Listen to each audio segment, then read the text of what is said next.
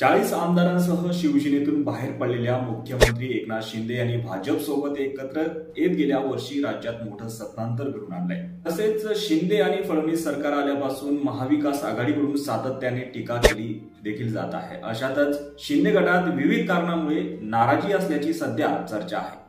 कृषी मंत्री अब्दुल सत्तार यांच्यावर विरोधकांकडून गेल्या काही दिवसांपासून सातत्याने टीका केली जाते. मात्र अब्दुल सत्तार यांनी शिंदे शिंदे गटावरच याबाबत नाराजी व्यक्त केली आहे.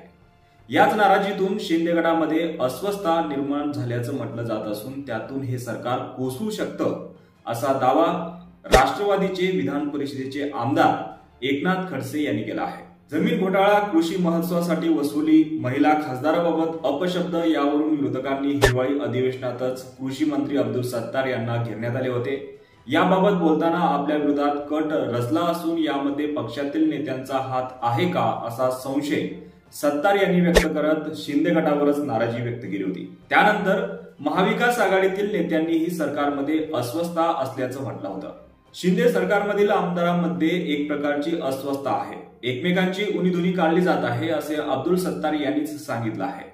न्यायालयाच्या निकालाची टांगती तलवार अजूनही यांच्यावर आहे. न्यायालयाचा काय निकाल येतो त्यावर या सरकारचे भवितव्य अवलंबून आहे. अशा स्थितीमध्ये अस्वस्थता जर वाढली तर हे सरकार कोसळू शकते असा दावा एकनाथ खडसे यांनी केलाय. अब्दुल सत्तार यांनी केलेल्या दाव्यानंतर शिंदे गटातील इतर नेत्यांनी ही भूमिका स्पष्ट केली आहे.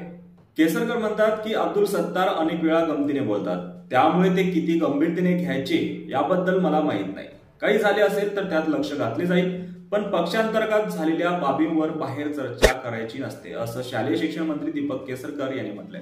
तर पक्षांतर्गत गैरसमज असतील तर ते दूर केले जातील. आमच्या पन्नास लोकांमध्ये कुठलाही गैरसमज नाही असं स्पष्टीकरण मंत्री शंभूराज देसाई यांनी सुद्धा दिलं आहे या सर्व घडामोडीवर तुम्हाला काय वाटतं? तुमची प्रतिक्रिया कमेंट बॉक्समध्ये नक्की कळवा.